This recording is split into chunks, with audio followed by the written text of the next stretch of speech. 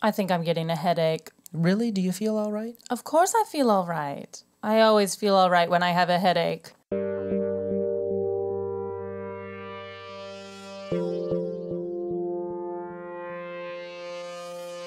My name is Jack Matthews, and I'm a writer. And in 1968, I published an article in the CEA Critic arguing that this, uh, Oedipus did not solve the riddle of the Sphinx after all.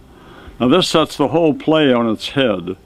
Uh, because the play is a playing out of Oedipus's uh, conviction that he is a wise man because he has solved the riddle of the Sphinx.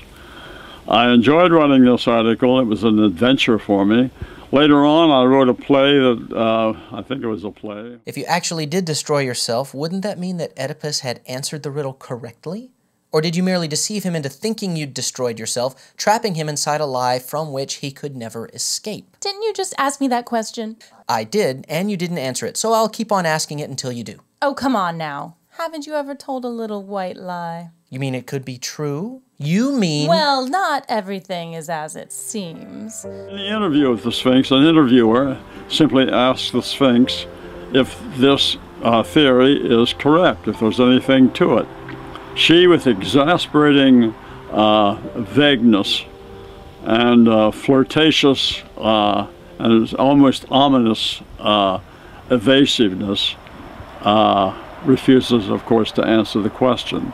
So we leave uh, the play without really knowing, although the play itself isn't exactly about that. It's about the Sphinx herself as a kind of force of nature, as a demonic character, and is a fascinating, utterly fascinating woman. Why, do you know one of the awful lies they used to tell about me? No, what? Why, they said I had two faces. Can you believe such a thing? And then there was that business about my having the body of a dog or a lion and the wings of a giant eagle. People are so literal minded.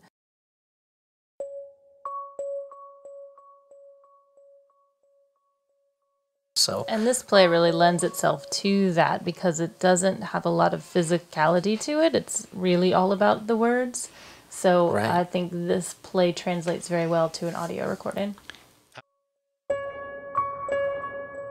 the gods that they worshipped were more human and they were imperfect and they had flaws and they had times where they got angry or they got flustered or they got sexy or they got flirty you know and and you see a lot of that uh, in the sphinx character. And, and i think jill did a good job of sort of bringing that to the surface so that it's not this all-knowing all power well maybe she is all-knowing and all-powerful but she's don't but she's not perfect either. And that and that's infuriating to this interviewer who wants all of his answers to be precise and perfect.